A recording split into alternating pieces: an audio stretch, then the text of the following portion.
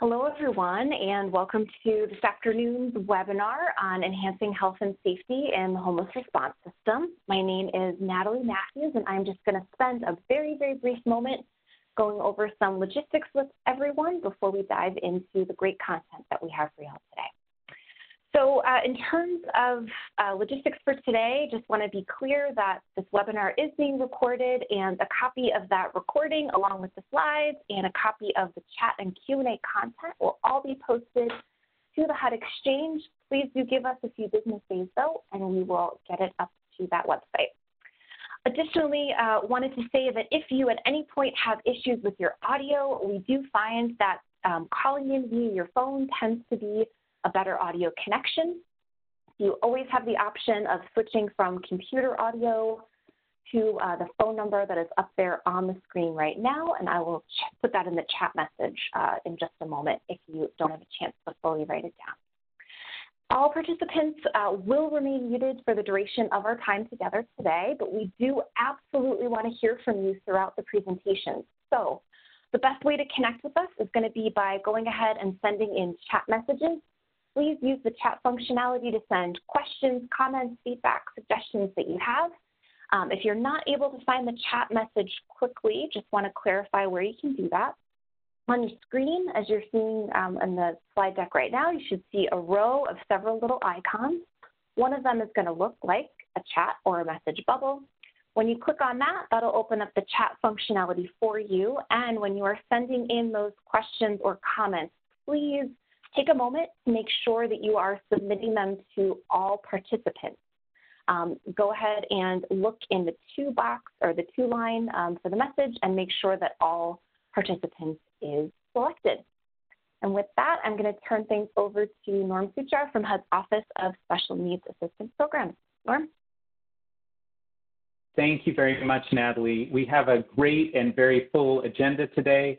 So I'm going to quickly introduce some of the speakers and some of the people that you will be uh, hearing either with the Q&A portion or uh, answering in the chat box. Uh, my name is Norm Suchar. I'm with the Office of Special Needs Assistance Programs, the SNAPS office uh, at HUD. Uh, we'll be joined by Rebecca Laws from the Centers for Disease Control and Prevention, their homelessness unit. Uh, Julie McFarland from Cloudburst will be joining us as well. Shenandoah Gale uh, has a great presentation about the efforts of N Street Village uh, in Washington, D.C. Anne McCready from BCT Partners will be uh, presenting as well. Joel Hunt from the JPS Health Network in Fort Worth, Texas. Uh, Lauren King from Tarrant County Homeless Coalition, uh, also in Fort Worth, Texas. Karen Cowell from All Chicago in Chicago, Illinois. Marlisa Grogan from the SNAPS office, and David Canavan from Canavan Associates. Uh, you'll be hearing from uh, all of us, and we have a lot of great presentations, uh, several different community examples uh, that you'll be hearing from. So let's uh, advance to the next slide, please. I want to give an overview of uh, some of the uh, framing for the conversation today. So the CARES Act obviously provided a lot of resources with the goal of preventing, preparing for, and responding to coronavirus. over the course of the, of the epidemic, uh, one of the things we've learned, something I think we knew beforehand, but it's very much been brought home as the disease has unfolded, is that the safest place for people to be during the epidemic is in housing. Uh, while the, our uh, shelters have done heroic work to uh, try and uh, implement protective measures and keep people spaced and uh, keep the disease from spreading, and outreach workers have done an incredible job in encampments and other unsheltered locations at helping prevent the spread of coronavirus. Uh, there's no doubt that being in your own unit, in your own home, uh, is the safest place to be. So we've gained some important knowledge uh, since the pandemic began on how to reduce virus transmission uh, in the homeless response system, including in unsheltered locations, in uh, emergency shelters, and such. And as cases are rising now in many states, uh, this knowledge and uh, the things we've learned are vital to share. And so this webinar uh, is intended to share those examples of how to implement uh, safer program practices in different parts of the homeless response system. Let's move on to the next slide, please. So uh, a few of the things we want to strongly encourage at a minimum Uh, CDC has provided some great guidance, uh, and we strongly encourage you to keep up with that guidance. They publish uh, updates on a very regular basis, uh, and uh, we encourage you to keep up with that guidance and implement the best practices uh, as much as you possibly can. It's also crucial to coordinate with public health and local healthcare providers who are coordinating the response across different sectors. Uh, and we need to just keep working to rehouse as many people experiencing homelessness as possible. Uh, we know that housing is a, uh, it will directly reduce the spread of COVID. Uh, and so the more work we do now to house people and to uh, keep them out of higher risk situations, uh, the less spread of COVID we're going to see in our community. So it's just a really important and challenging area. So moving on to the next slide, please. So our objectives today are going to be to advance our understanding of safer sheltering practices, to equip COCs and homeless assistance providers with the tools to respond to unsheltered homelessness uh, during the, the, COVID pandemic, and to share emerging, emerging practices uh, from communities that are increasing the rate at which people are leaving non-congregate shelters and going to housing. Next slide, please. So our agenda today, we're going to start off with a presentation of recently released guidance from CDC. Uh, we're going to hear three community presentations, uh, one on safe shelter practices from N Street Village in Washington, D.C., uh, one on the street outreach efforts uh, going on in Fort Worth, Texas, uh, and one on rehousing strategies from Chicago, Illinois. We will have quite a bit of time for questions and answers at the end of that. I would encourage you to share your questions in the chat box as we go. Please make sure you have selected all participants uh, to send your questions. That way all of the audience and the presenters can see the questions. Uh, and will uh, and the rest of the audience will you know be able to share in uh, in what you're uh, learning there. Many of our presenters will also be in the chat box, and we have some people in the background uh, in the chat box to help answer questions. Uh, so let's move on to the next slide, please. So with that, I'm going to turn things over to Rebecca Laws from the Centers for Disease Control and Prevention uh, from their homelessness unit. So Rebecca, the floor is all yours. Hi, thank you.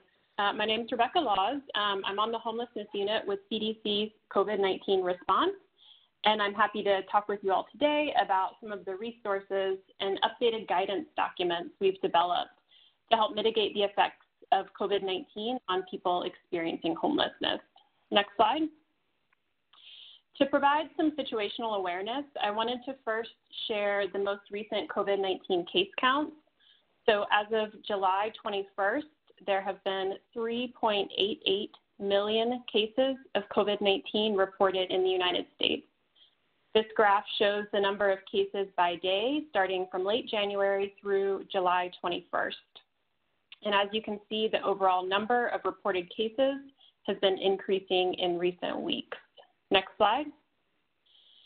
And as you all know, continuing homeless services during community spread of COVID-19 is critical, and people experiencing homelessness are at risk for infection. It's important that homeless shelters not close or exclude people who are having symptoms or who test positive for COVID 19 without a plan for where these clients can safely access services and stay. And we try to emphasize with homeless service providers to coordinate with local health authorities when making decisions about whether clients with mild illness due to suspected or confirmed COVID 19 should remain in a shelter or be directed to alternative housing sites. Next slide. CDC's developed multiple guidance documents for people experiencing homelessness and homeless service providers. And these documents can be found on the CDC COVID 19 website in the section labeled Community, Work, and School, and all of the links are provided here. The first document listed is for shelters and other homeless service providers. This addresses issues related to providing services in congregate settings, and I'll walk through a few of these key considerations on the next slide. The second document addresses issues related to people experiencing unsheltered homelessness, the third document is a checklist of considerations for homeless service providers as they reopen programs and facilities. The fourth is considerations for state and local health departments, and this document contains information on how to investigate and respond if a case of COVID 19 is identified in a person experiencing homelessness in your jurisdiction. And finally, the last is our newest guidance document, which was posted just this month. Um, and this document provides considerations for deciding when and how often to test um, or conduct testing in homeless shelters and encampments. And today I'll briefly walk through this guidance as well. Next slide. So I mentioned that I wanted to point out a couple of key considerations from our guidance for homeless service providers. Next slide. Uh, and specifically highlight some tips on facility layout. So you can use physical barriers to protect staff who will interact with clients with unknown infection status, uh, for example, check-in staff. Um, in meal service areas, uh, you want to create at least six feet of space between seats or allow food to either be delivered to clients or taken away by clients to eat at least six feet away from one another. And in general sleeping areas, for people who are not experiencing respiratory symptoms, try to make sure client spaces are at least six feet apart and align mats or beds so clients sleep head to toe. Next slide. So next, I'll discuss our interim testing guidance document, which describes scenarios when SARS-CoV-2 viral testing may be appropriate in homeless shelters and encampments. And please remember uh, that testing to diagnose COVID-19 is only one component of a comprehensive response strategy and should be used in conjunction with promoting behaviors that reduce spread, maintaining healthy environments, and preparing for when someone gets sick. And it's also important to remember that the considerations outlined in the guidance should always be reviewed in the context of local recommendations, resources, acceptability, and feasibility. So testing should be considered for the three groups listed here. First is people with signs or symptoms consistent with COVID-19. Second is asymptomatic people with recent known or suspected exposure to SARS-CoV-2 to control transmission. And third, testing can also be considered for asymptomatic people without known or suspected exposure to SARS-CoV-2 for early identification in homeless shelters and encampments. And this is based on the level of transmission within the community. And really, the purpose and process of all testing and other public health activities should be clearly communicated to clients and staff at the homeless service site to promote understanding and acceptability. And in addition, testing strategies should be carried out in a way that protects privacy and confidentiality to the extent possible, and that is consistent with applicable laws and regulations. And anytime a positive test result is identified, it's really critical to ensure that the individual is rapidly and appropriately notified, separated from others, uh, provided appropriate medical care, and linked to appropriate alternative housing for isolation as necessary. Um, one additional point that's really critical to emphasize is that CDC does not recommend entry testing for homeless service sites and encampments. And we also want to emphasize that homeless shelters should not exclude people who are having symptoms or who test positive for COVID 19 without a plan for where these clients can safely access services and stay. Next slide. So the testing guidance document um, outlines how to use community transmission levels to guide which testing strategies to use for asymptomatic individuals. So for example, in areas where community transmission is none to minimal, health departments should use their standard system and case investigation processes to identify confirmed and probable cases among people experiencing homelessness or homeless service staff. Alternatively, in areas where community transmission is minimal to moderate, health departments can also consider working with partners to increase testing access in homeless shelters and encampments to identify COVID 19 cases a little bit more proactively. And finally, in areas where community transmission is substantial, health departments may consider coordinating with partners to offer facility wide testing for all clients, volunteers, and staff in all sites at least once. And this is regardless of whether an initial case of COVID 19 has been identified.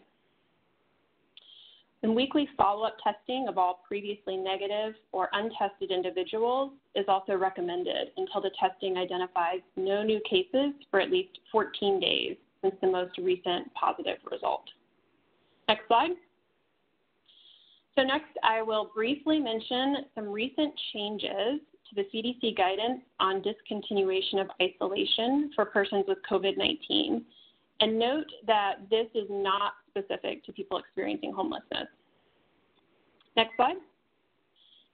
So for people who have tested positive for COVID-19, a test-based strategy is no longer recommended to determine when to discontinue home isolation, except in certain circumstances.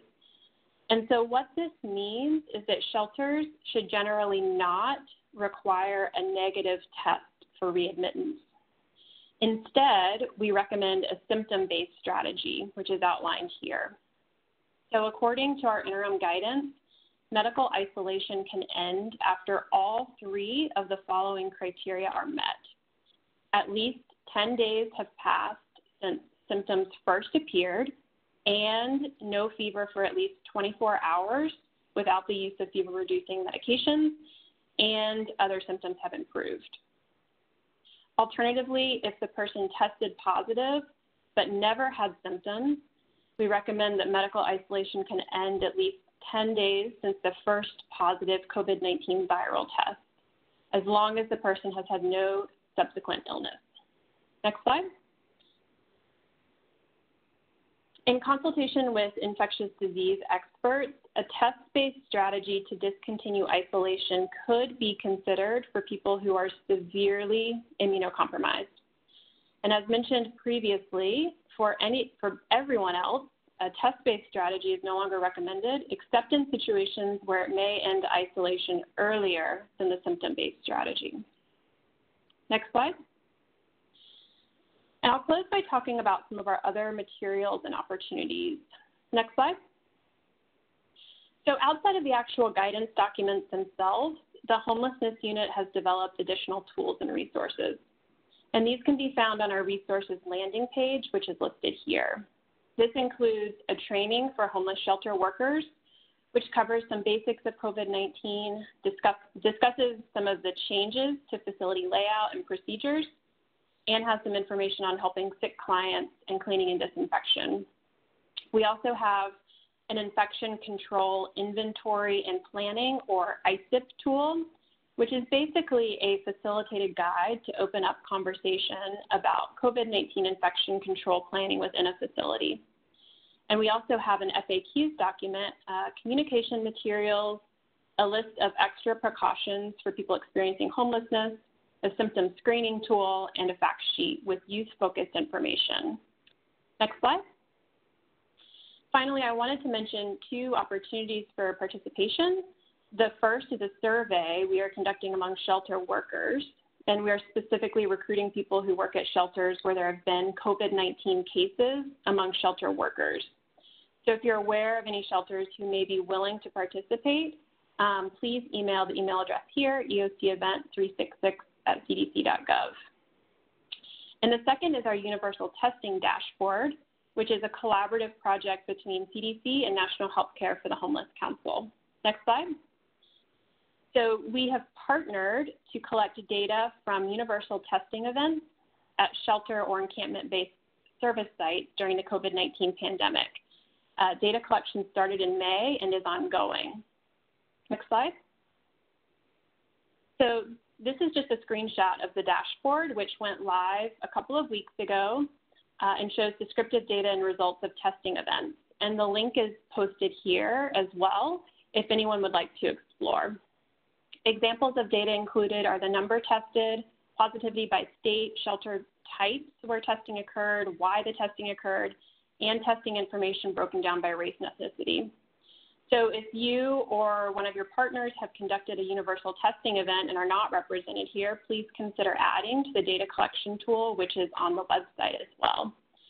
These figures will be updated as new data emerge, and more participation will provide key data to help us better understand the impact of COVID-19 on this population, and provide future guidance.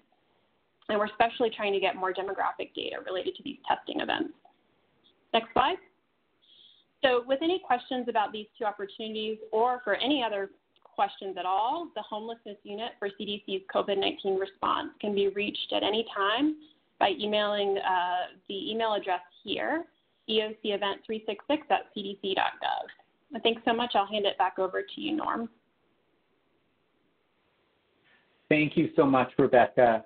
Uh, one of the questions that came up, if you don't mind me following up really quick, one of the questions that came up is you mentioned that uh, some of the guidance is dependent on the local circumstances as far as community transmission.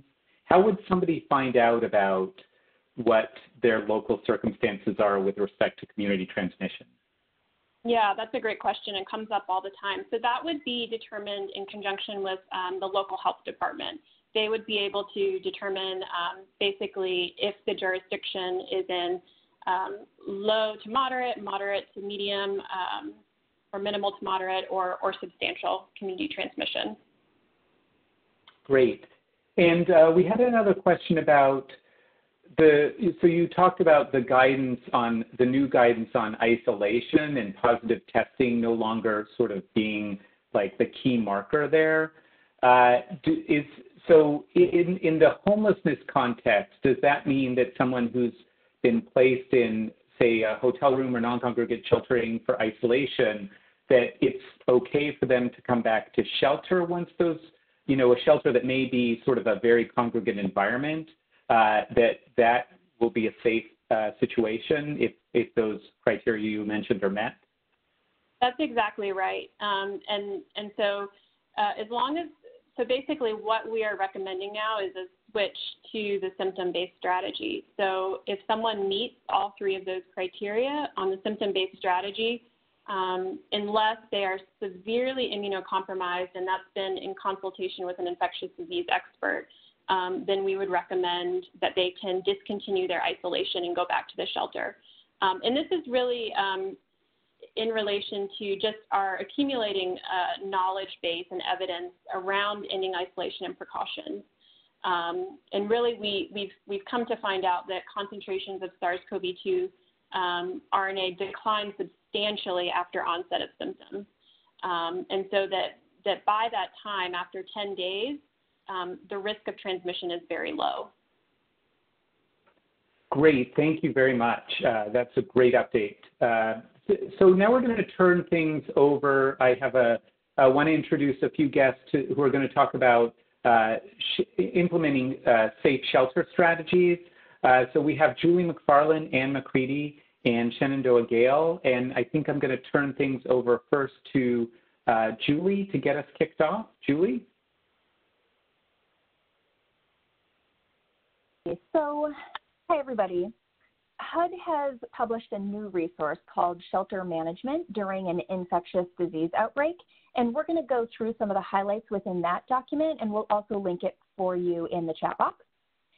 So screening for symptoms is hugely important at shelter intake since testing continues to be so limited throughout the country. We just heard about that um, separating people who are symptomatic and following protocol established by the CDC for social distancing for all people, symptomatic and asymptomatic, continues to be the recommended process or, or practice, excuse me. We also just heard pretty extensively from Rebecca about uh, testing. The HUD resource also encourages partnerships with public health to implement a testing strategy and organize ongoing testing events. Adjusted operations continue to be critical, which means extensive cleaning schedules, use of any and all outdoor spaces that are available, and offering access 24 hours a day so people have safe places to be and aren't further putting themselves and others at risk by searching for safe uh, spaces in the community. Next. The non-congregate uh, sheltering through sites like hotels and dorms, also known as NCS, this should continue for the foreseeable future. These spaces should provide quarantine to people who are most at risk of COVID severe impact and isolation for those who are COVID positive but do not require hospitalization.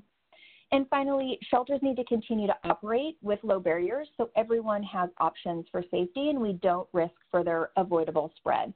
This means that negative test results uh, should not be a precondition of enrollment, which Rebecca mentioned as well. Um, and in partnership with the larger community, you need to have a plan for where people can safely be when they have symptoms or test positive. Something we're going to focus on pretty extensively today is uh, what we uh, see as the very best option, and that is quickly rehousing people into their own safe space. Next. The, the work has been incredibly difficult to date, and sustaining adjusted operations presents daily challenges. Shelters often have limited supplies, and teams are more and more fatigued from this nonstop disaster response sustaining staffing is a real challenge. And so it's really important uh, that we acknowledge this because it's part of the daily grind to get safety through, to get uh, safely through this pandemic. Closing a shelter during a public health outbreak has the potential to increase the stress and the challenges that homeless systems are facing. Closing safe spaces like shelters right now poses really serious health implications for people experiencing homelessness and can contribute to increased disease spread in the community. We're seeing serious spikes in cases, and we cannot close safe spaces at this time. Shelter providers really should not be on their own in this effort, and we've seen many COCs actively reaching out to shelters and acting as kind of a centralized type of hub for documenting resource needs and problem solving to get the necessary resources into shelters. So if a shelter is considering uh, closing down, there are some steps that you can take. Let's go to the next one. Number one is really about reaching out to your local public health partners and your emergency management partners to determine if staffing and supply resources can be lo uh, locally accessed. Ensuring that partners understand the community ramifications for closing these sites is really, really critical, and we really can't uh, state this enough. Number two would be to create or continue your non-congregate sheltering options, those hotels, those dorms, et cetera, to decompress your congregate shelter spaces. And then three, there is TA available to you. We really encourage you to reach out to HUD or your field office or through the AAQ, and we can get you connected to some folks who can uh, potentially help in this situation. Next. All right, so we're going to spend the rest of the time uh, hearing from communities that are in the trenches, and uh, like Norm said, we'll have Q&A uh, at the end for the most part. So I'm going to turn it over to Anne to do some introductions, and we'll get started. Thank you so much. So I have the privilege of working with N Street Village, which is a Washington, D.C. based nonprofit organization providing housing, shelter, and supportive services to women experiencing homelessness. Um, one of their programs that we're going to focus on today is called Patricia Handy Place for Women, which is a 213 bed uh, congregate shelter that includes low barrier shelter, transitional sh- shelter, medical respite, um, and a residential program for senior women experiencing homelessness. I am pleased to be joined by Shenandoah, Gale, uh, who is their Director of Evaluation and Learning. Next slide, please.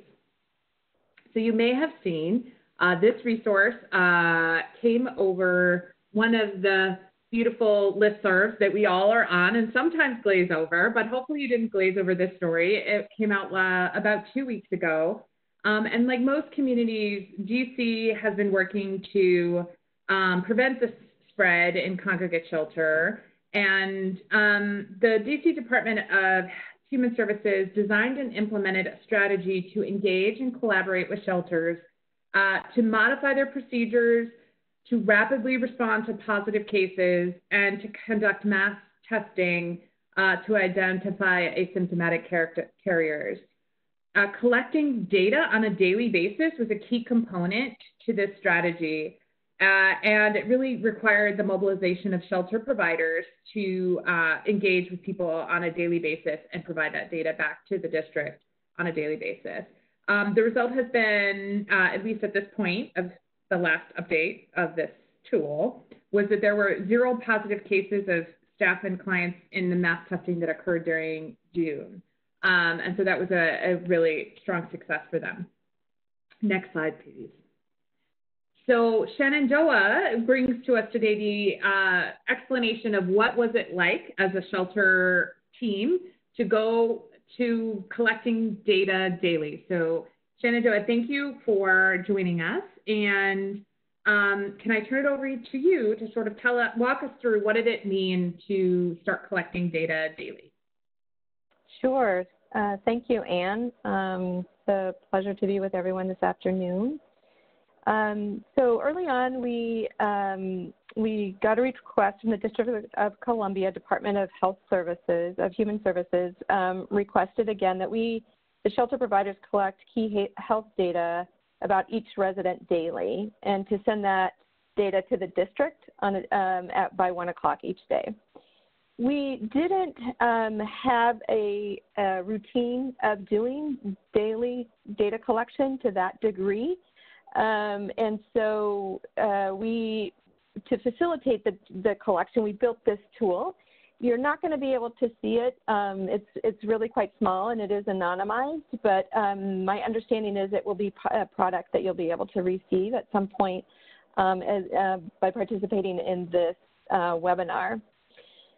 So we created this tool, um, and we uh, this is uh, built on the bed list from the Low Barrier Shelter, um, and we built it so that it could be printed out um, and taken around uh, for ease of use um, by shelter staff or at some point also um, nurses were provided by the District of Columbia. So it was a tool that they could also use.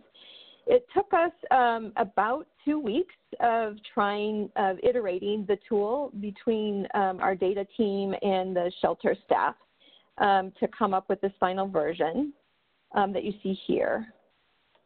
next slide, please. Yeah so Shenandoah, as you referenced, yes. um, there's this um, there was this iteration process, and I love that about your all story because in these moments, it is um, sometimes people think it has to be perfect to to be you know what is that phrase? Perfection becomes the enemy of the good.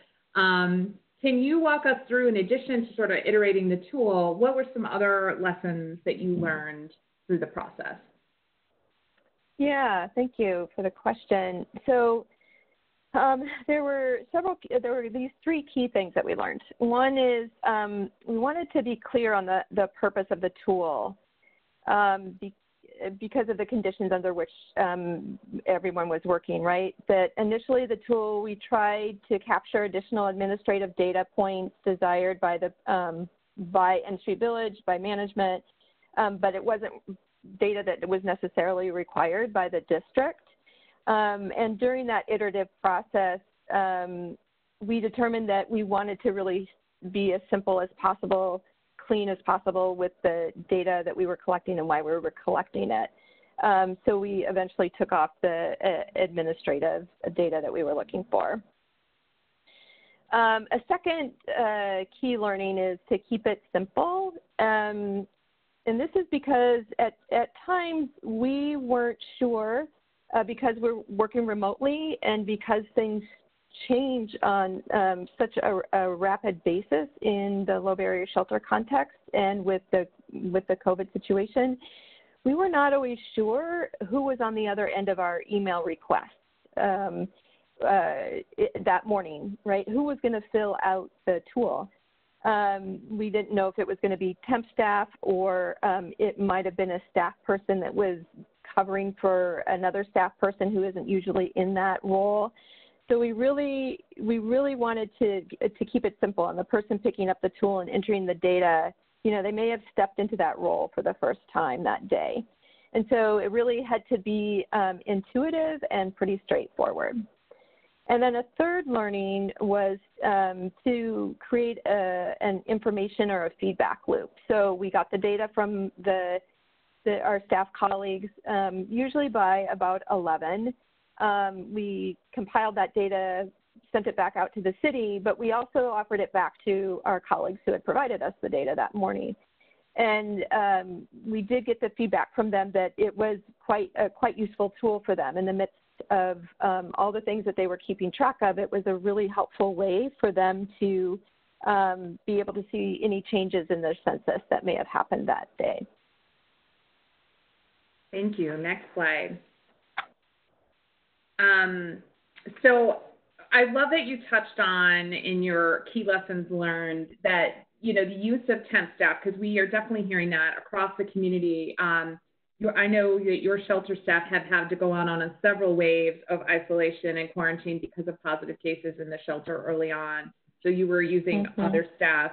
Um, can you talk a little bit about the communication strategies that worked well for you all during this period?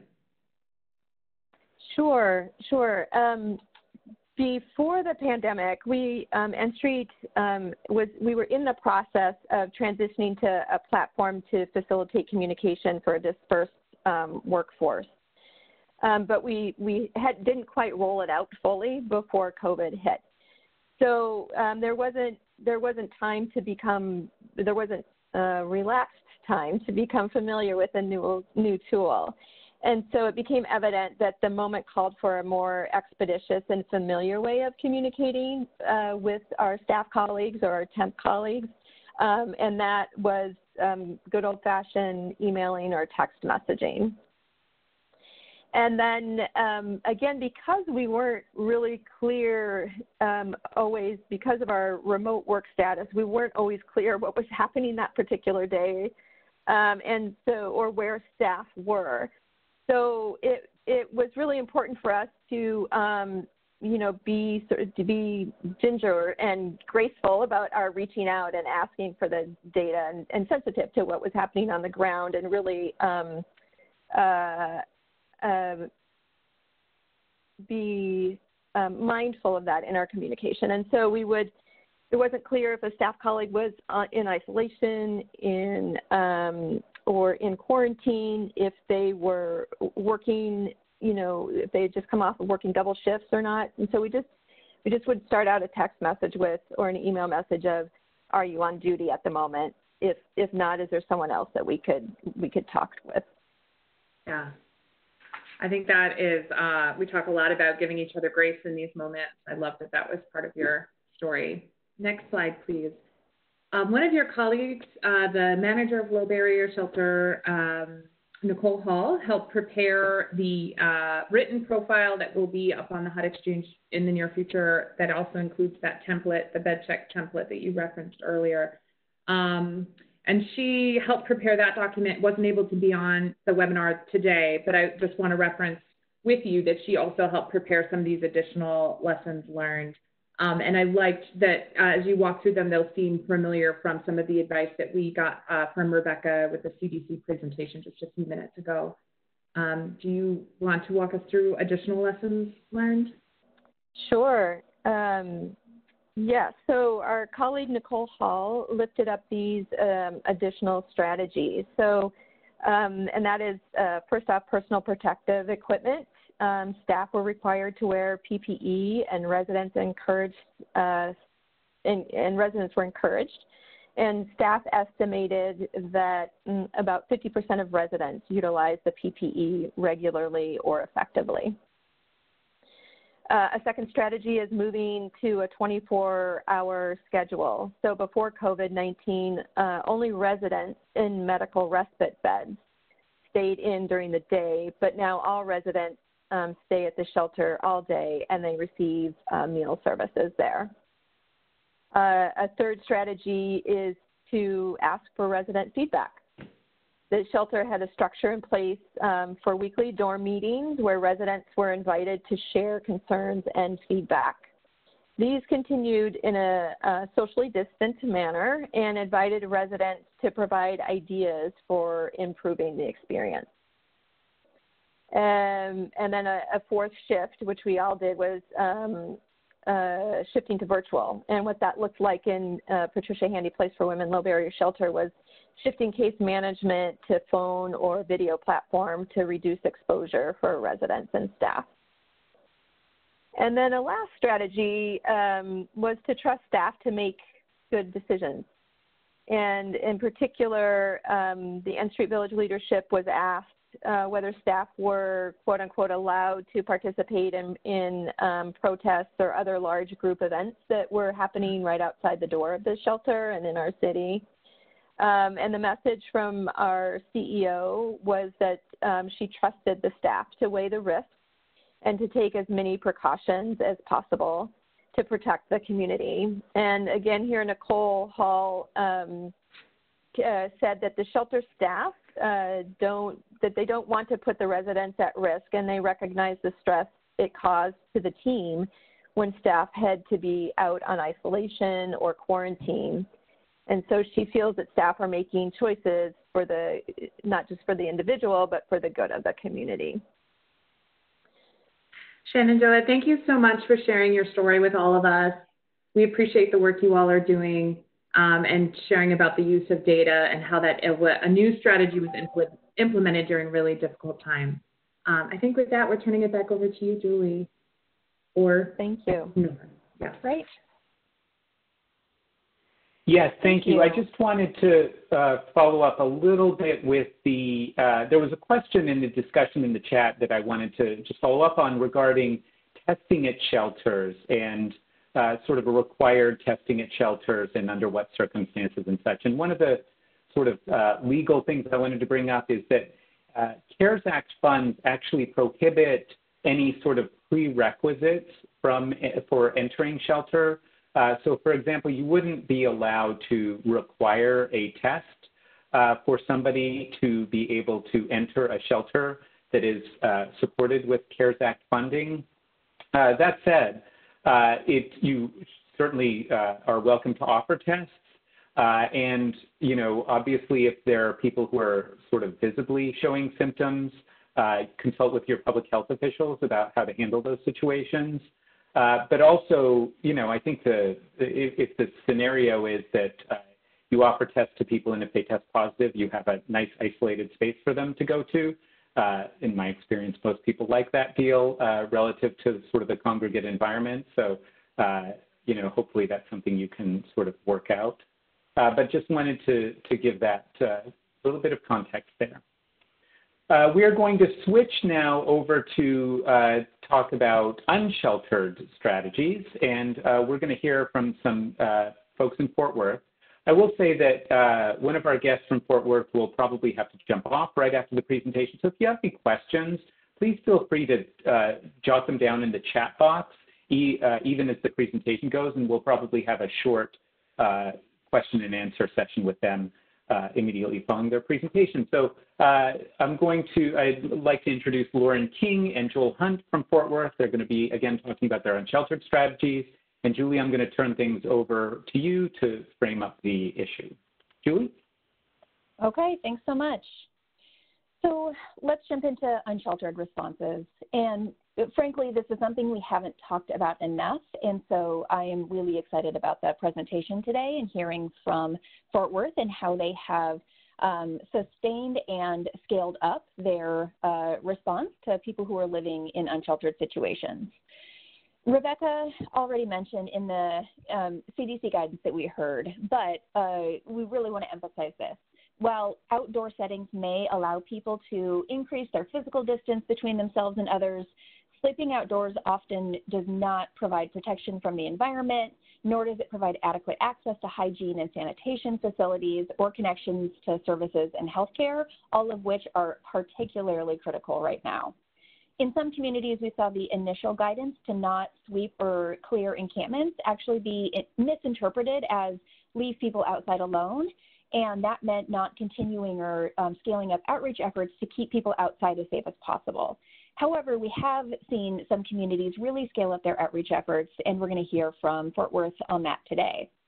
What we need to emphasize now, especially with the current COVID 19 spikes, is that clearing encampments can cause people to disperse throughout the community and break connections with service providers.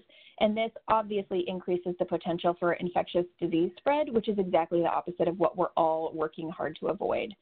I want to run through just a few quick uh, critical strategies and then hand it over to Lauren. So first, we've got to maintain strong communication with people who are living outside, and that that approach can be greatly strengthened by utilizing a peer navigation model, uh, paying people with lived expertise to do outreach and engagement within encampments. We need to use uh, health messages and materials that have been developed by credible health sources like your local and state public health departments or the CDC, and we've got to keep the educational info flowing. So posting signs in strategic places like near hand washing facilities that provides instruction on hand washing and cough etiquette is still as critical as ever. Make sure that your educational materials about COVID-19 are translated for non-English speakers and also written for people with lower literacy or intellectual disabilities and accessible also to people who are hearing or vision impaired. Get info to people about the changes in policies within your homeless system or changes in physical location of services like food, water, hygiene facilities, the healthcare uh, access, or behavioral health resources. Um, I know that was a really, really important early on, and we've got to keep that information uh, flowing since things are still changing regularly. Ongoing screening and education within encampments is also critical, and we're going to hear more about that in a few seconds in terms of a really great partnership with a street medicine team. Specifically, if you have an opportunity to partner with street medicine um, or public health in that way, that is huge. Uh, a strong continued collaboration with public health and health officials is obviously critical, and it shouldn't end within this response, but this should really just be the beginning of a critical and ongoing partnership that we can begin to plan for and foster now. All hands on deck is really critical um, to screen, to transport, and to connect people with medical units as needed, and also to quickly connect people to permanent housing as those resources become available. So let's go to the next slide, and I'm going to turn it over to Lauren King um, and to Joel Hunt to talk about how they're doing things literally um, on the streets with people who are living outside and from a policy perspective at the COC level around how they're ensuring people have access to housing resources quickly. Thanks, Julie. All right. Um, yeah, we can go to the next slide. So um, to give you all some context about our um, our situation, so we actually had seen um, before we even COVID hit, we had seen a 43% increase in our unsheltered homelessness from the previous year. Um, so we had seen a significant uptick there um, and knew that we had to um, address that. Unfortunately, we actually lost an outreach team last year, so we saw a huge decrease in the number of outreach workers we were having. So in looking at how our, what our response was, we really um, we're at a disadvantage there. Um, a number of our outreach teams are very specific. So, um, as Julie mentioned, we have a medical, um, a street outreach team who specifically deals with medical. Um, we have a behavioral health outreach team who only deals with behavioral health. Um, and then our other outreach team, actually, it's one person that is specific, is from the VA, specifically does veterans. So, she's general outreach next to housing, uh, but she is limited to veterans. So, we only had um, one team that was general outreach, and I believe that they were at the time four people. So we were really struggling with that. So to kind of give you some context of where we were, um, we saw our outreach our outreach workers kind of go through that. Early on, um, I will say our community had great collaboration and coordination. We put out a lot of communication for both um, our outreach teams and shelters and housing programs.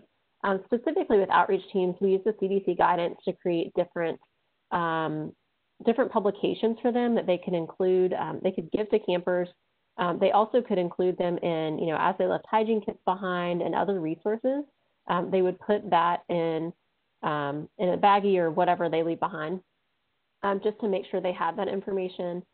they also regularly encouraged campers to space their tents out. I know, like they mentioned, it's obviously not ideal for anyone to be living outside, but if we can take those precautions, we did. Um, our city did work with us to um, stop clearing camps. So we were very um, uh, upfront, or we worked with them a lot on the fact that um, the goal right now is not to get people into more congregate settings. Um, so we worked with them um, quite a bit on how, uh, on just, you know, can we keep non-congregate or keep congregate settings at a minimum, and how do we ensure the safety of everyone? Our outreach teams did. We did in the beginning of COVID, um, see a bit of a decline there because um, some were working the, um, spending part of their time working the overflow shelter that we set up. Um, but at this point, uh, I believe they're all back out in the field.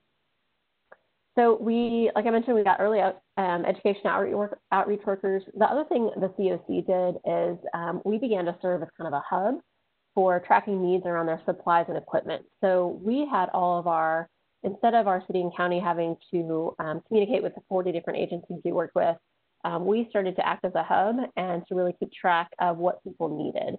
Um, that was a good way for us too to be able to understand what their needs were and kind of what they were seeing on the street. Um, early on, we went to a policy, um, I'll use policy loosely, um, that uh, we wanted our entire population to be masked. So they were able to, our, even our outreach teams were able to give us a good idea of, you know, what people's reception was to that, um, how many masks they were going through, um, and that sort of thing. Um, like I mentioned, encampments were not moved or swept, so they um, encampments were allowed to stay. Um, and then we have had a strong partnership. All of our outreach teams have had a strong partnership with JPS and our street medicine team. Um, we early on as a COC were actually having daily calls, so we would have a 30-minute huddle every morning just because things were changing so quickly. Um, we moved that to three times a week, and now it's actually at one time a week, and it's just um, for people to update. Um, we have an update from public health and from our medical provider, and then all of the different um, interventions also give an update and can give announcements, ask questions, share concerns, that sort of thing. Um, so our street medicine team and Joel and um, another doctor had been on there from the beginning to give us the medical perspective and share information with us. Um, the other thing specific to outreach workers that we did was um, they began also having a phone call with just themselves I want to say three times a week. Um, they began that to really strategize about who they were reaching, what they were seeing, did anyone need to be tested, um, going through just kind of where they were and what they were doing, what they were seeing. So um, that allowed our street medicine team to really be able to quickly respond um, if another outreach team had an issue.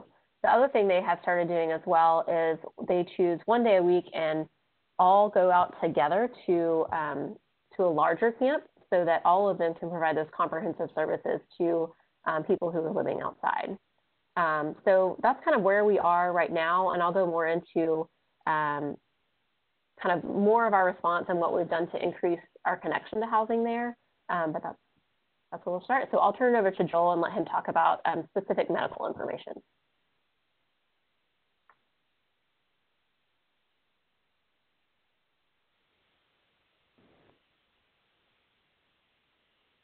Joel, you might be muted. Yeah, sorry, it's Joel. It keeps going mute and unmute. All right, next slide, please. So, I mean, who is not tired of this pandemic? I mean, can I get an amen? Um, I think the the pandemic fatigue is is real, and um, it's something. Thank you, amen. Um, it's something that is just it, it's taking a toll on on everybody, no matter what your um, profession or, or, where you are. And certainly in homelessness and homeless health care is is no um, no different. So I think recognizing that and, and trying to stay the course of not being too rigid um, or or erode um, any kind of boundaries and um, maintaining maintaining that that humanistic um, uh, approach is is really important to to keep in mind throughout this. Next slide, please. So um, in, in, Fort Worth, when we were doing street medicine uh, before COVID, um, we keep a 90-day list of all the people that we're seeing, and, and, if they're not seen within the 90 days, they fall off that list, not off our uh, radar, just off that specific list, and it's more of a, of a, of a management tool for us to, to plan, uh, but also gives us a pulse of sort of our census. And uh, before COVID, we had seen a, a, kind of a little dip for reasons I, I don't know, down to about 100. We would often see around 150 um, on that list. But right before COVID, I think it even dropped a little bit below 100. And then um, around March, uh, um, when we started getting back into back in the streets full time from setting up the emergency shelter, uh, we have just seen a, a, peaked increase in in people experiencing unsheltered homelessness uh, to the tune of about 140. I think now, Julie, since we talked, 150 percent um, increase in um, in people sleeping outside, and, and we don't really have a good reason on why they're not people that are um, new to homelessness necessarily. They're not people that have lost housing or jobs related to COVID, but the need is there, the volume is there. And so the, the continued need for reaching them um, is certainly present, and in our community anyway, is growing. So, staying safe, of course, uh, goes both ways. Um, we often talk amongst ourselves that we're as much of a threat to their safety as as uh, they are to us in terms of spreading coronavirus, and so it's important that um, the social distancing is is practiced, and you can still have a conversation six feet away, um, and mask to mask when when at all possible, um, encouraging them to wear their mask. Of course, we wear our masks. Um, face shield and goggles are recommended. It's a little tricky on the street with noise and trying to talk through a mask and through a shield. that makes it a little tricky, but um, in the right settings and, and certainly when we're uh, up close or in tight places, we, we, we wear that. And gloves, um, we don't make that a standard practice, um, but when we're um, handling um, people's belongings or things uh, that are, might be suspected, uh, or patients that are suspected of, of having coronavirus, of course, we're in full PPE with gowns and everything. Um, because gloves are just really a second layer of skin and um, can can still spread uh, when people touch their mask and stuff. And you just do it subconsciously. Um, and screening, we continue to screen, and, and both safety precautions and screening um, and education are things that I've noticed in our own team um, that we have to be consciously um, consistent about because it's easy to to to lax on that. Um, but asking people those specific questions of new symptoms, new onset of, of cough, of, uh, checking temps, asking the, uh, the the right questions on the on the symptoms and doing the intakes, and also um, yeah, taking temperatures. Um, the other thing is remembering that um, though we are in this pandemic, people still get and have other illnesses as well. Um, and not just being not having COVID brain and just only thinking about that, but working to help uh, treat those other chronic illnesses or acute illnesses, not only for their well-being, but also to try to help relieve and keep them out of the, the larger system, the larger health system, and out of the um, um, ERs and, and, even clinics uh, when possible. That's not normally our, our mantra as street medicine, but um, certainly keeping people away from from others as, as much as possible right now is, is the goal. So that's another great thing we're um, able to do. And then, as Lauren had mentioned, the frequent involve, involvement and constant uh, communication with the with the continuum of care and homeless services is absolutely um, imperative. And our phone calls have been um, I, I, that's been sort of the secret sauce, if I had to if I had to say. Next slide, please. So to that point, um, the the partnerships uh, that we have, like I said, is just absolutely critical. And we do we do healthcare, uh, we do some behavioral healthcare, uh, but we don't we don't we don't do housing. Um, so partnering with those who do, uh, with the other agencies, is is incredibly important. Um, and we've uh, from a kind of a higher level have um, partnered with TCHC on this project to prioritize people in, in our continuum, sheltered and unsheltered, um, who are at, at risk for um, poor outcomes should they should they get uh, COVID-19.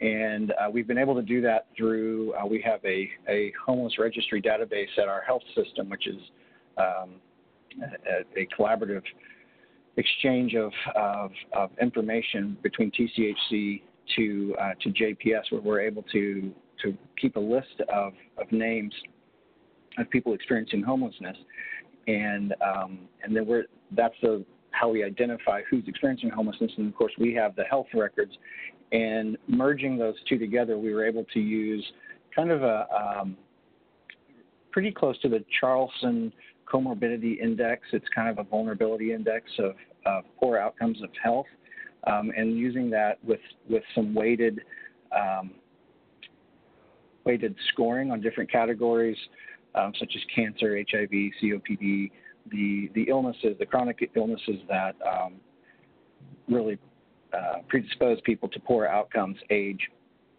And that's able to give us a number of, of severity of, of um, or likelihood of a poor outcome. And we can just, uh, we give that, that information with the patient's name and their score, not their health information, back to TCHC to to work on um, identifying and, and, helping move those people into housing. I think that's it yeah, me. and I can add a little bit, to, Joel. If, um, I can add a little bit to that as well. So um, we another way we kind of, um, kind of build on that, I guess, is a couple of things. So um, the first bullet is that our partnership with our navigators. So we have advocated for, you know, everybody knows we have all this CARES money coming in with ESG. Um, and our municipalities have actually um, come to us, the COC, and said, um, what are the system needs and where should we fund? Um, so we were able to help them figure out, based on all the resources coming into our community, uh, what was the greatest need and how should we use this? Of course, based on national guidance and some other things. But one thing that we advocated for was adding um, a number of housing navigators. So we call ours mobile housing navigators who will actually be on the streets to connect unsheltered folks to, uh, to housing. So uh, those um, people will be actually embedded with existing outreach teams. So I mentioned that we had had a loss of outreach teams. This will help us bring back that general outreach and connection to housing. Um, so can, we can still leave street medicine and um, psychiatric street care um, to do what they do best. Um, and then we, were, we are embedding mobile housing navigators with those teams to ensure that housing is always connected to any service they're providing. Um, the other policy thing that we did was um, as a, the COC board actually voted to uh, make people at risk of COVID our priority population for this year. Um, so that means that people who are at risk of COVID-19 uh, are prioritized for housing in our system. So um, we are using the information that Joel talked about um, to actually do that. So um, managing it similar to um, a cohort list, um, like uh, similar that you do with veterans or other, other special populations. So managing it somewhat like that, um, and then moving people quickly into housing so that it, they're out of non-congregate and unsheltered situations. I think that's about it. I think I'm turning it back over to Norm um, and I'm sure we can answer questions or um, anything that. Yeah, thank you so. Yeah, thank you so much, Lauren. Thank you, Joel. Uh, just a quick question that came up. Somebody had a question about uh, using different structures. Uh, there, they had a specific suggestion, which I'm not sure I can pronounce, but um, like you know, people have been experimenting, I think, with different kinds of like you know I don't know, tiny home-ish kinds of things, but really much more basic and simple than that. Have you all looked at those kinds of things too uh, as, as part of your unsheltered strategy or your encampment strategy? So we sort of. We've looked at all different kinds of strategies to um, do non-congregate shelter of some sort. Um, so yeah, I would say we've started to look at that. We probably have other preferences, um, but so we mm-hmm. haven't put anything in place specifically. But I would, the answer to that is sort of. I'm sorry, that's not a very good answer, but um, that's kind of where we are right now. Okay, and there was another question about the housing navigation. You mentioned that you uh, have created some positions uh, with the ESG funds. Are those positions you already had, or is that something sort of entirely new that you created? Um, so kind of like a both and. So in the midst of this, we also redesigned our coordinated entry system um, because we noticed some barriers and um, knew some things needed to change. So we had system navigators in our system already. Um, and so we actually transitioned those existing positions to be mobile housing navigators and specifically connect um, unsheltered people to, um, to housing. So we kind of changed how our system works. So we transitioned some existing positions to that.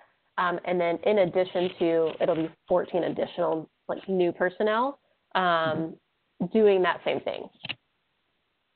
And, and did you, how did you find people with the right skill set for that? Because we often hear that, you know, this isn't like regular case management or some of the social work that people do. There's a real sort of real estate function involved here. Mm-hmm. Uh, so did you find that people had that skill set or you could teach it or did you have to go, have you been looking for people?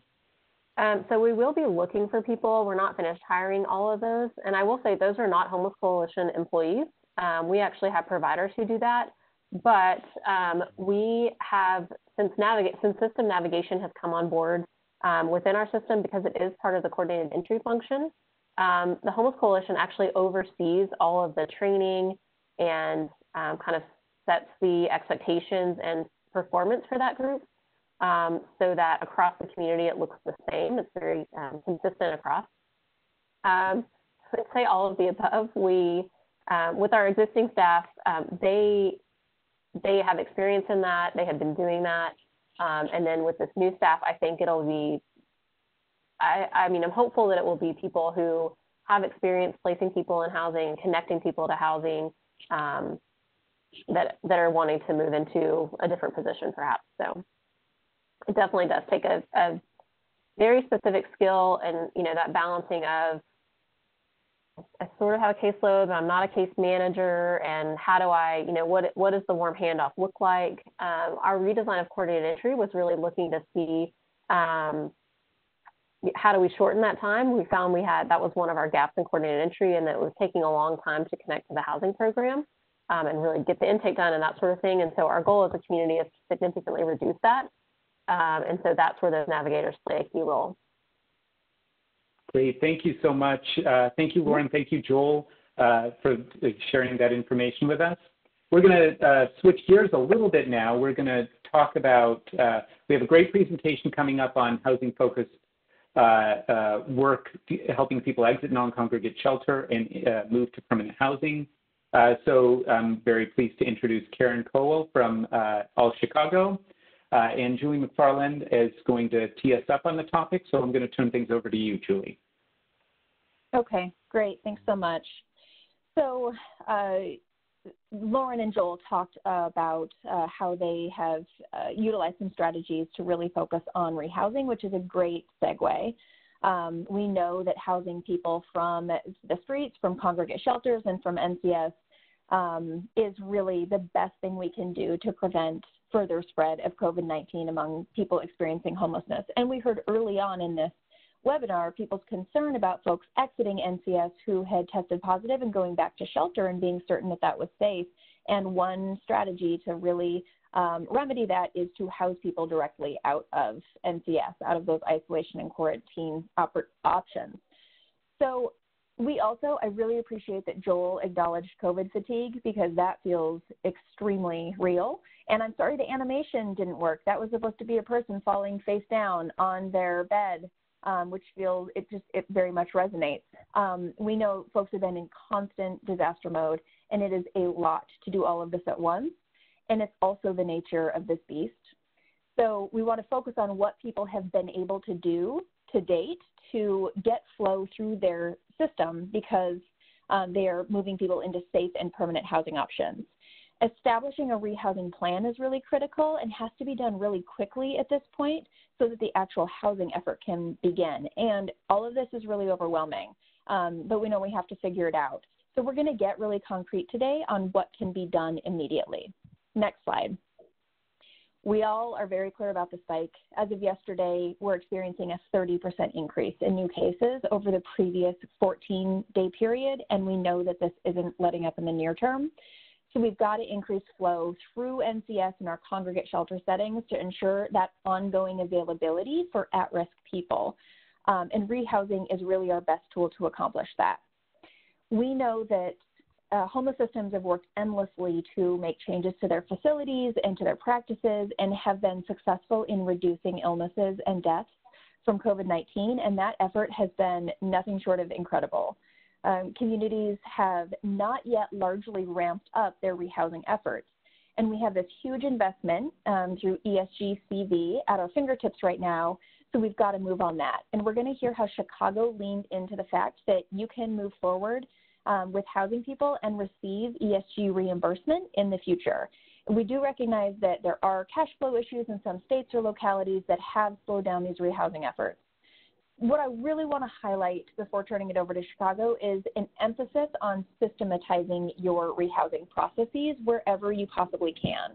If you can automate, if you can automate parts of the process, that reduces the work for your housing teams that provides a little bit of extra capacity to then support people for whom your system is not serving well. Maybe that's folks with higher housing barriers or more intensive service needs. We do know that every system has strengths. Maybe your landlord engagement work has been strong. You likely have some really good service providers that can house people quickly. Whatever those strengths are, we're encouraging you to leverage them now and test a process that you believe may work for a large number of people. And you can then quickly learn from that test, refine your process, and scale up your rehousing effort. And that's what Chicago has really been um, successful in doing very recently. So let's go to the next slide, and I'm going to turn it over to uh, Karen Cowell from Chicago, uh, from All Chicago, the COC lead entity.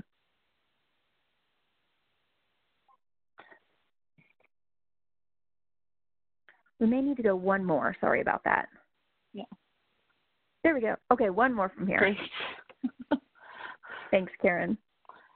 No problem. Thanks, uh, thanks, Julie. Again, I'm uh, my name's Karen, and I'm from All Chicago. We're calling our rehousing strategy the Expedited Housing Initiative, and I'm the project manager.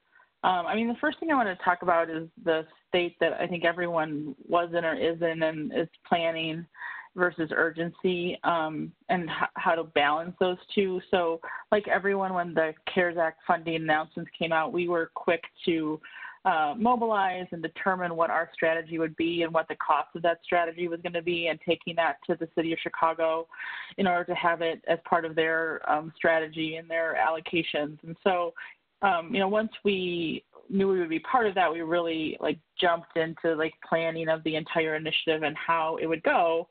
Um, and we were really excited about that. And then we, the reality hit us that it's going to take a long time to get this funding in our hands. So it felt like we were doing um, a lot of stopping and starting. And so the urgency of, of what we needed to do, because rehousing people and having them in their own home was the safest option, wasn't in alignment with how quickly we could get funding. And so um, and we also were feeling from the community, Chicago, uh, our health department decided to use a shielding strategy. So we had about 130 to 100 folks in a hotel um, that were being shielded from COVID because they were high risk. And, you know, that, you know, it's tiring to be in a hotel for a long time. And so um, how do we move people out? And then, um, with all this planning and everything we were doing. And I, you know, I wanted to go too because I we felt like we had things in place and we were doing things that we wanted to test and to try. We were preparing providers and getting the team ready to go. And then, you know, what about the money? So I really like elevated these things as a project manager to the leadership at All Chicago. And we really started digging into like what could be feasible and what could we do. And I mean, our leadership was really great of looking at um, what was possible. So we looked at our ESG caseloads for rapid rehousing and could we add some folks onto those? Well, we identified an existing resource from the state that we could use for some of the rental assistance. So we really started moving towards the place of like what were we comfortable with and what was feasible. And at the end, our leadership decided we could, um, you know, absorb the risk or float some of the cost for um, housing some of these folks for a couple of months, knowing that we'd get reimbursed later through the CARES Act funding. And this is where we eventually landed. We eventually landed in a space that let's move, let's test these things that we've been planning to see what works. Because when we go to scale, it's going to be so much bigger that we need to work out some of the challenges. And um, people really were in the hotel, but for like three months by then, and they were they were tired of being there, and the staff really wanted to move people on. People wanted to go to housing, so we wanted to capitalize on that momentum. And so we decided that in June we would test some of these things by housing up to 75 households from the Shielding Hotel. And the way that we have been planning to do that is through um, a housing event, which we're calling accelerated moving events. And so this is an intensive day of going through all of the steps needed to get into housing quickly. And so this event is was at the hotel where people were living.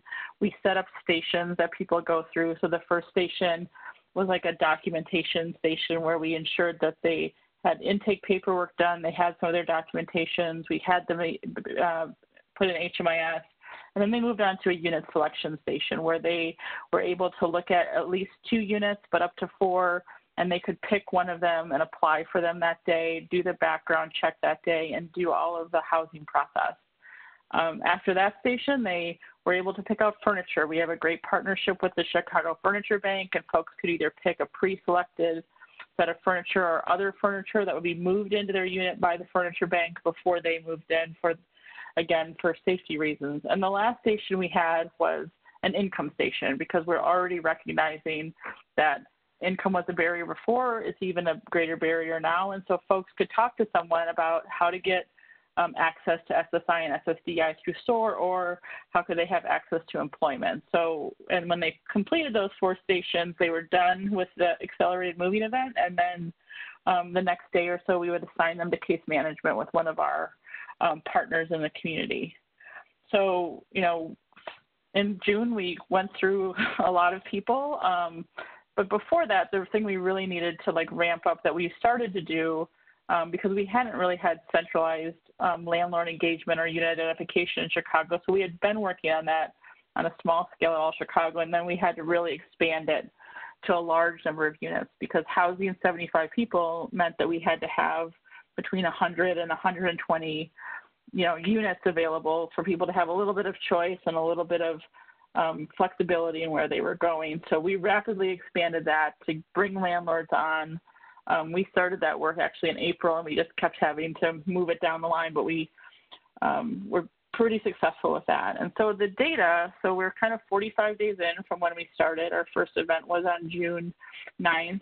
Um, about 90% of the people that went through this, these events chose and applied for a unit. And then about 46% of them have already signed a lease. So we think that's a really great um, result of this. And then 27% of those um, were able to choose their unit. So uh, we think this is a really great um, success rate for this short amount of time because our goal is to house people quickly. Um, next slide, please. So one of the things we really, um, of course, we're concerned about was safety. And so like we worked really closely with um, the, the staff of the hotel, which was a medical provider to ensure safety for our event. We set up all of our stations to have like appropriate social distancing. Um, you know, everyone got their temperature taken from all Chicago because everyone was negative at the hotel. We didn't want to bring anything into that space. Um, we are all using uh, PPE, as you can see in this photo. Everyone was wearing a mask. Um, we were using hand sanitizer. We were doing all the things that the medical staff advised us to do.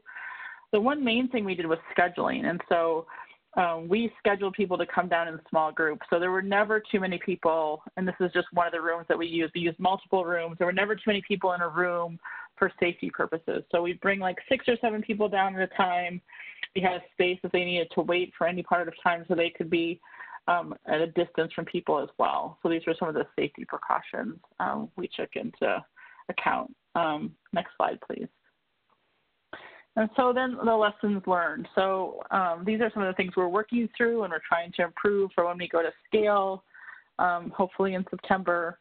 Um, the first thing was something that Julie mentioned was trying to automate and systematize what they're doing, what you're doing um, so most people are going to this system in the same way and an expedient way, but then you also have capacity for exceptions. So the events really systematize the process of getting into housing, but then we did have capacity for exceptions. So some people just couldn't pick a unit on that day, and so um, you know we had them work with another case manager to identify a unit or a housing navigator, or um, if people you know, really needed to see their unit, we had we did have the opportunity for them to go and see it if we needed to, but that was a really small percentage of the overall group, so we could address individual needs, but mostly things are really um, systematized. Um, the one really lesson that we learned was really clarifying the roles. I mean, because we didn't have enough resources to keep them apart, it kind of got murky sometimes of what navigators do versus what the unit identification team did versus what um, the the service folks did, especially when we are getting into like lease signing and moving in. And so what we're really doing is clarifying those roles. And those who are involved in navigation are really just working with clients to get them through the process. The housing, the unit identification team is only working with the landlord so that the landlord has a single point of contact. And then the services come later. So there's a really clear role distinction. Um, and again, with barriers, we're, we're you know, some of the barriers we're really trying hard to reduce those up front. Some of those are with landlords, so like, you know, reducing applications or fees or the need for identification. So having those um, conversations about what can we reduce so that we can get more people moving um, faster.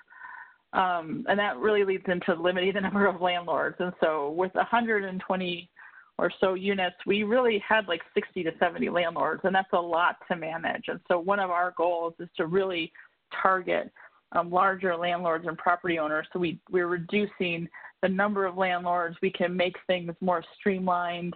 Um, but we're also acknowledging like mom and pop landlords, they really are helpful to work with really challenging to house clients. And so we wanted to figure out ways to like streamline and standardize this small group of mom and pop landlords that we will keep using, like having one single application. We'll do the background check and and other things, which leads us into what we really think will help us is um, holding fees. So being able to use um, private dollars to hold a unit um, so that it won't be leased from us. So my team, who was doing a lot of the unit identification work, they felt like they were running a hamster wheel a little bit because they kept having to go back and call landlords over and over again because a unit was available on Monday and we had our event on Tuesday, and by Wednesday they had already leased it, right? And so a holding fee would help ensure that that that unit was available. We also found that, you know, we had inspected and done rent reasonableness for units, and then that exact unit was gone, and so then we had to start all over again. And so we feel that the holding fee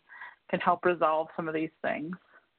Um, and the last thing I'd say was our lesson is when you plan anything, uh, we like to be able to like think of all the problems we're going to have and solve for them um, in advance. And a lot of the things that we thought were going to be problems and that sometimes we solved for and sometimes we are just like, oh, let's wait and see. They didn't end up being barriers at all. So the, the typical things you think of like people don't have IDs, they're not going to get approved for units, or they're not going to get utilities turned on. I mean, at the end of the day, these ended up being more of our exceptions than what happened to everyone. And so we didn't really, um, you know, it wasn't really a barrier, right? It was just some things we had to negotiate with some of the landlords or some of the clients, you know, and things like that. So I would say, like, make sure your barrier really is a barrier so you can get a systemic response to it. Um, and it's not just an exception for a few folks um, that need it. And that's all that I had. So I'll turn it back over to, to you, Norm. Thank you so much, Karen. Uh, that's great stuff. And I, I have a question about looking for units. So I think a lot of people are wondering, well, it's COVID time and social distancing and all this stuff. Did you have problems like with the actual process of like looking for units and like inspecting or or just at least visually looking at units or working with landlords? How did that go? Uh, it, it, was a little up and down. I mean, we um, we we didn't have problems locating units. We did sometimes have trouble um, inspecting them and doing that in person, like uh, because what else happened in Chicago? Protests happened right before we were going to start housing people, and so you know people didn't want to go in the the neighbor, in certain neighborhoods to to inspect units. Landlords weren't going in to view them, so we did a lot of virtual things, and we set up systems to to view things and do habitability um, virtually. So um, you know we we were happy with the number of units we had, but you know it was challenging. I'm not going to say it wasn't challenging during COVID. And have you identified, have you started using holding fees? Uh, because I know the question that everybody wants to know is how you're paying for them. Yeah, um, so we haven't started using them, but we do have commitments from private dollars to use them. I mean, we, we really went through um, the the thought process of it too, because you know it seems when you read the ESG reg, you could kind of do something like a holding fee through PBRA, right, and set up a rental agreement first, and but then you have to like really cross your fingers and hope you're going to get somebody in by the end of the month. And so we just felt like really getting the community behind us in this moment and saying, you know, if we really want to house people quickly together, we need your private dollars to help hold these units. So when we need somebody to move in, they're going to move in and it's going to be fast and we're going to reduce people's health risk. And so we did, when we realized that holding fees was one of the answers. We really pushed the private private donor community to help us with that. That's great. Uh, so we have one last quick uh, presentation. I'm going to turn things over to Marlisa Brogan from the SNAPS office, and she's going to go through a few resources. Marlisa? Yes, hi. Next slide, please. So as you're planning your rehousing strategy, um, one thought um, one of a number of thoughts in everyone's mind is how to fund how to fund it. And as there are a number of CARES Act resources out there, how to use them together. So one resource that's up on the HUD Exchange is linked here in this slide. It's Federal Funding Priority Order for Non-Congregate Shelter during COVID-19. Take, take the time to go over it in detail. This is um, sort of a, a visual representation of the material covered in that resource. It takes you through sort of um, different phases of the process, starting with an initial request and implementation of non-congregate shelter during a public health emergency, through uh, extensions of non-congregate shelter after the end of FEMA-approved non-congregate the non-congregate sheltering project, to transitioning individuals from non-congregate shelter, and then finally winding down non-congregate shelter after FEMA public assistance ends. So the general flow of how to use your these various resources and this specific document um, highlights three pub, FEMA public assistance category B, CDBG CV, so the CARES Act funding for the CDBG program, and the Emergency Solutions Grants CARES um, CARES funding or ESGCV. So in the initial phase, you um, the community would use FEMA Public Assistance Category B first, followed by either CDBG CV or ESG CV. And then in the second phase, um, when you're extending non congregate shelter and your FEMA approved um, non congregate sheltering project is has ended, in other words, FEMA assistance is, um, is, concluded, then you would follow up any extension of non congregate shelter with either CDBG CV or CDBG CV. And then um, in the next in the next phase, when you're transitioning people out of non-congregate shelter, so you're moving them, your your rehousing plan is in place, and you're um, you're actively finding housing for those who are in non-congregate shelter. You, in general, want to use your ESG CV funding first for rental assistance, and then follow it up with CDBG CV, just because this is what ESG CV is typically used for. Um, you know recipients are used to using ESG-CV. It's what the ESG program does well. And then once you once you um, exhaust that funding or the funding you've budgeted for that, then it makes sense to follow that up with CDBG-CV. And then as you're winding down non-congregate sheltering, after um, after FEMA public assistance ends, again, like you'd want to use ESG-CV first and then follow it up with with CDBG-CV. This is not a required order of assistance, but um, it's it's in general what what we would recommend as the as the order. What what typically makes sense based on um, the activities that ES, ESG is is good and good at covering um, with flexibility, and then um, following it up with CDBG. Next slide, please. And then before we turn it over to um, just a few remaining minutes of Q&A, we want to make sure that you all are taking away the key points that we really wanted to emphasize, which are first that communities and programs, they're, they're continuing to implement infection control measures following CDC guidelines.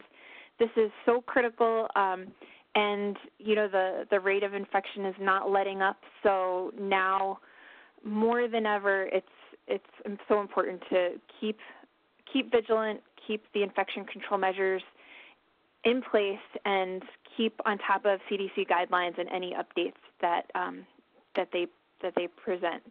Uh, next, important work remains to increase the outflow from temporary housing and unsheltered settings. So, um, you know, people need to get out of, uh, people need a rehousing plan to be able to move from non-congregate sheltering settings. This is um, a, a, critical, essential component of non-congregate sheltering and um, making sure that people are not returning to unsheltered settings or congregate shelter settings. And finally, um, we at HUD plan to continue these peer exchanges and presenting community examples and also um, continuing to communicate with you all through office hours and additional um, resources on the HUD Exchange with that, I'm going to turn it back to you, Norm.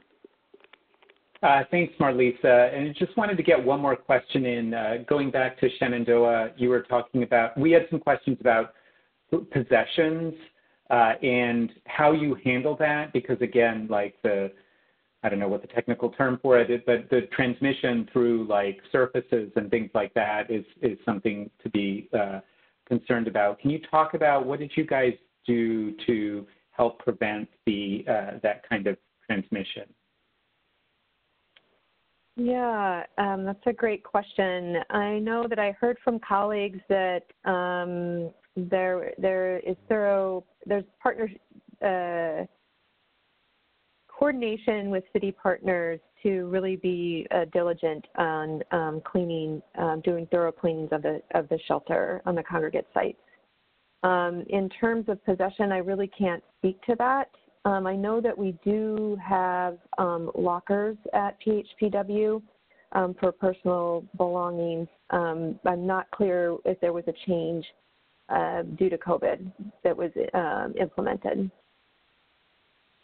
Great, thank you. And I know someone in the chat box suggested or uh, mentioned that their program or a program they were familiar with had switched to a bin system where people had individualized individual bins that they could keep uh, their possessions under their bed. Uh, so, you know, maybe that's a strategy that works.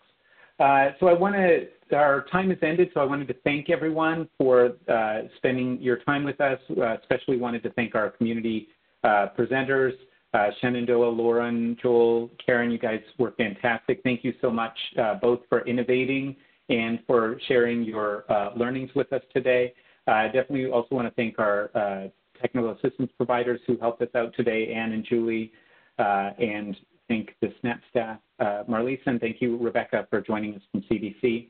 Uh, always appreciate the great information you provide to our audience. Uh, so thank you all for joining the webinar today. And uh, again, we hope to have many more of these in the future. If you have topics you'd like for us to uh, present on, please share those with us. Uh, and also, if you have things to share that you feel like have worked in your community, we'd love to hear about that. Uh, we're, uh, uh I know people are craving uh, hearing from their peers in other communities. So uh, please share with us anything that you find that has worked well for you. I want to thank everyone for joining and hope you have a great rest of the day, rest of the week, and that concludes the webinar.